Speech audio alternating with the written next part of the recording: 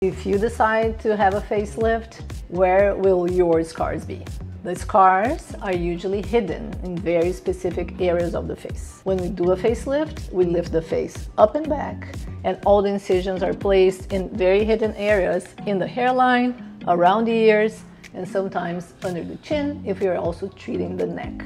They heal amazingly in the vast majority of patients because when I close incisions, I take all the tension away from that incision so we get the best environment for the perfect healing. But the scars will always be there. They're just gonna be hidden, probably very well healed, and it's gonna be very hard to see.